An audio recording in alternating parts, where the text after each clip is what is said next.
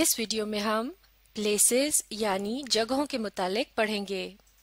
चलिए मिलकर पढ़ना शुरू करते हैं। प्लेसेस अब आगे पढ़ते हैं। आप भी मेरे साथ पढ़िए। A village is a place away from a city a village यानी एक गाँव इज़ होता है अ प्लेस एक जगह अवे यानी दूर फ्रॉम से अ सिटी यानी शहर. A village is a place away from a city यानी एक गाँव वो जगह होती है जो कि शहर से दूर होती है. आगे पढ़ते हैं, आप भी पढ़िए. It does not have big buildings. It does not have, यानी इसमें नहीं होती बिग बड़ी बिल्डिंग्स इमारतें. It does not have big buildings यानी इसमें बड़ी बड़ी इमारतें नहीं होती. बड़ी बड़ी इमारतें कहाँ नहीं होती? विलेज में, यानी गाँव में। और बड़ी इमारतों का क्या मतलब है? जैसे कि बड़े बड़े शॉपिंग सेंटर्स होते हैं। अब आगे बढ़ते हैं। There are fields and farms in a village there are यानी वहाँ होते हैं फील्ड्स यानी खेत एंड और फार्म्स फार्म्स में हरी भरी चरागाहें होती हैं, यानी वहाँ घास होती है और जानवरों को वहाँ रखा जाता है। जैसा कि डेयरी फार्म होते हैं, जिनमें गायें और मुर्गियाँ वगैरह पाली जाती हैं, ताकि उनसे अंडे, दूध और मक्खन वगैरह हासिल किया जा सके। उर्दू बोलचाल में भी फार्म का लफ्ज ही इस्तेमाल किया जाता है। In May, a village, a gaon. There are fields and farms in a village. यानी गाँव में खेत और फार्म होते हैं अब आगे पढ़ते हैं farmers grow crops in fields and raise animals on farms. Farmers यानी किसान ग्रो उगाते हैं क्रॉप्स फ़सलें इन में फील्ड्स खेत एंड और रेज पालते हैं एनिमल्स जानवर ऑन फार्म्स यानी फार्म्स पर farmers grow crops in fields and raise animals on farms यानी किसान खेतों में फ़सलें उगाते हैं और फार्म्स पर जानवरों को पालते हैं आगे पढ़ते हैं we can see cows buffaloes horses sheep goats hens cats and dogs in a village.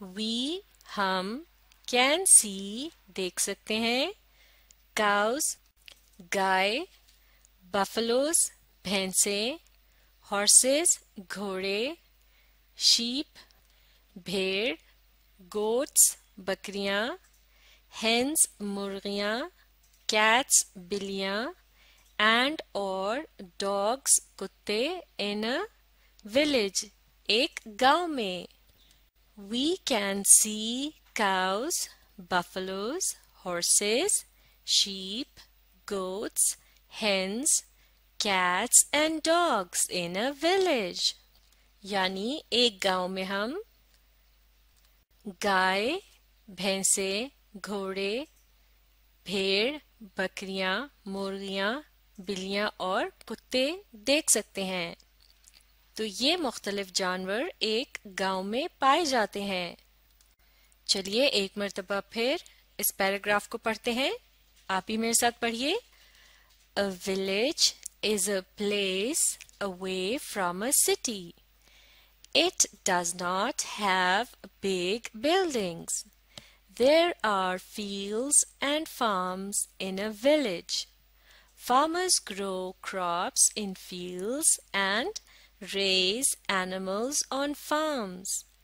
We can see cows, buffaloes, horses, sheep, goats, hens, cats and dogs in a village. चलिए अब मैं आपसे इस सबक के मुतालिक कुछ सवाल पूछती हूँ सबसे पहले ये बताइए कि विलेज या गाँव कहाँ होता है बिल्कुल ठीक अवे फ्रॉम अ सिटी यानी शहर से दूर। बिल्कुल ठीक। अब ये बताइए, क्या गाँव में बड़ी बड़ी इमारतें होती हैं? बिल्कुल सही, गाँव में बड़ी बड़ी इमारतें नहीं होती। चलिए तो फिर ये बताइए कि गाँव में क्या होता है? गाँव में होते हैं बिल्कुल सही फील्ड्स एंड फार्म्स अब ये बताइए कि फील्ड्स के अंदर क्या किया जाता है? बिल्कुल ठीक, फार्मर्स ग्रो क्रॉप्स, यानी खेतों में फार्मर्स या किसान फ़सलें उगाते हैं, जैसे कि गंदुम और चावल की फ़सल। और अब ये बताइए कि फार्म्स पर क्या किया जाता है? बिल्कुल ठीक, farmers raise animals on farms, यानी किसान फार्म्स पर जानवरों को पालते हैं।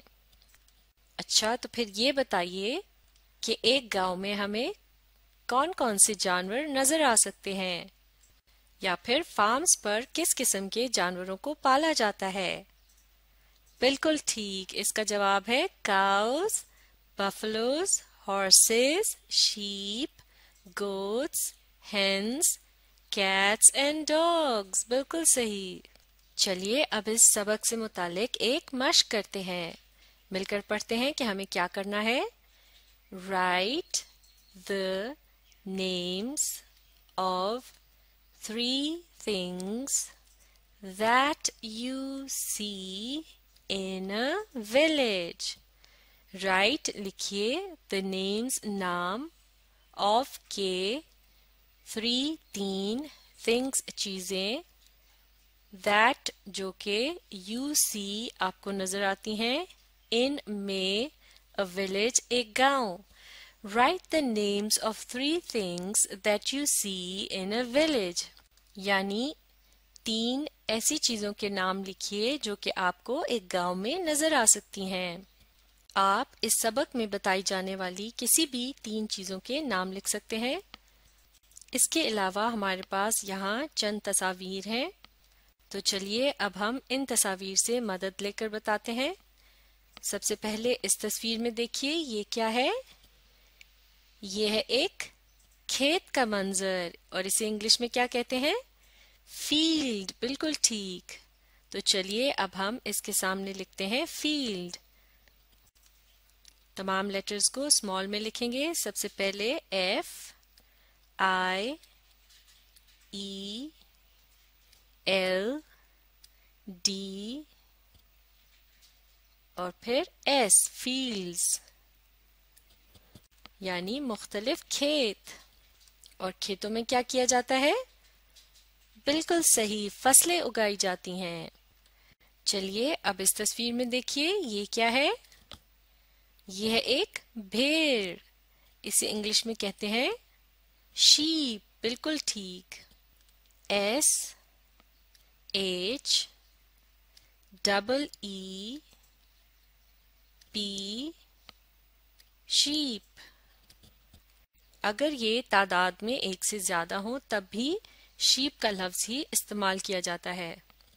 यानी सिंगुलर या वाहिद भी शीप है, और जमा या प्लूरल भी शीप ही कहलाया जाता है। चलिए अब देखते हैं इस आखिरी तस्वीर में, इसमें क्या नज़र आ रहा है? ये है एक गाय, यानी cow C, O, W cow. तो एक गाँव में हमें ये तीन चीज़ें नज़र आ सकती हैं। तो अगर हमें ये तीन चीज़ें एक साथ एक जगह पर नज़र आए तो इसका क्या मतलब है कि हम कहाँ हैं? हम एक गाँव में है यानी विलेज में। गाँव को इंग्लिश में कहते हैं विलेज और शहर को क्या जा, कहा जाता है? सिटी बिल्कुल ठीक। तो ये था प्लेसेस से मुतालिक एक लेसन जिसमें हमने विलेज के मुतालिक पढ़ा। अब आप इस वीडियो को रिप्ले कीजिए और इस लेसन को अच्छी तरह से सीखने के लिए इसके साथ साथ पढ़ने और लिखने की कोशिश जारी रखिए।